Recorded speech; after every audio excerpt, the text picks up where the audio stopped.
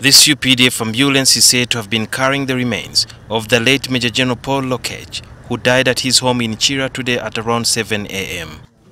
And this is his home in Kira, where Major General Lokech met his death in the morning. Silence and people donned in black as a sign of mourning kept trickling into the highly guarded home at the top of the hill. The media was not allowed access to the residence.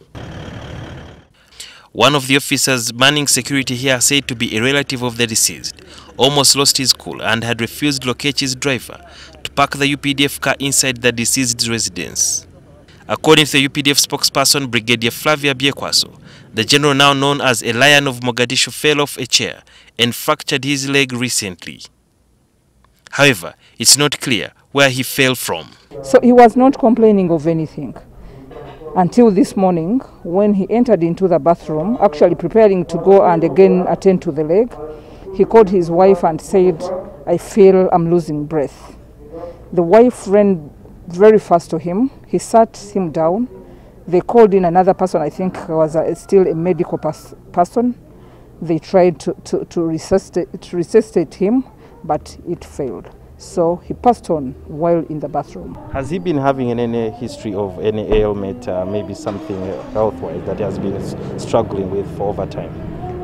For the time I've known Major Joe Lokech, I've never had. I don't know perhaps whether the family has something else, but me personally, I had never had a General, Major General Paul Lokech sick. I've always had him working. Major General Lokech has been instrumental in fighting criminality in the city and had asked for leave before his death. What gap does he leave in the force? I think it's a huge, huge, huge gap. Major General Paul Lokech has, is a, has been a commander, he's been a staff officer. From his profile, you can say that he's, he, he, he commanded in Somalia twice. He's been, he commanded in 2nd Division. He was in Air Force as a Chief of Staff. He was a commandant of URDCC in Jinja. He's now been a Deputy IGP. You've seen, I think, I, I, I think the, the work he's been doing is evident. I've heard the President earlier trying to say that, uh, way in the past way, he was saying that uh, the soldiers, especially the generals and others, should always take good care of themselves and also ensure that um, they are checked, do thorough checks oftenly. Is that something that uh, the UPDF maybe you'd want to have in place so that um, your generals and other officers are always periodically checked to ensure that they are healthy and fine? Yes, that is something. Uh, that is something we do actually, after the president, and even before the president stated so, we have arrangement with Nakasero Hospital and other hospitals where we go, especially us who have reached our 50s. We usually go and do, well, I don't know they call it body count, whatever it is.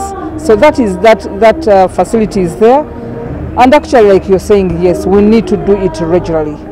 But who was Lokech in the army? Many of the people would want to be commanders. If I don't know how best I can describe that word, but once they say that yes, that guy is a commander, so that was Major Ge Major General Paul Lokech. At the home, we asked Major General Paul Lokech's daughter identified as Mary for a comment about her father, but the development clearly had not sunk in.